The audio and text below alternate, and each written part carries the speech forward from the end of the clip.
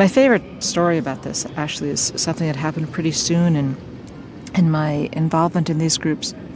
I was um, cycled to the train station at Cambridge. I wasn't then living in London, you know, and at the time you had these bicycle lights that you'd sort of snap onto your bike, and so I cycled to the station, and and then because people would steal these lights, I took them off and tossed them into my my backpack. And I was sitting on the train, lasted about an hour, and I was reading this book by the man I was going to meet, somebody who was described by others as an adept or a magician. And he, his book was describing these forces that you could come to experience and would do things in the world. And as I was sitting there on the, on the train, I was really trying to wrap my mind around his words. I really felt this current running through me. I felt fabulous. I felt utterly alive.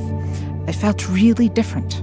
And as I did that, as I was aware of this, I also looked over to my backpack. And the thing that I can't understand to this day is that one of the bicycle lights was actually melting.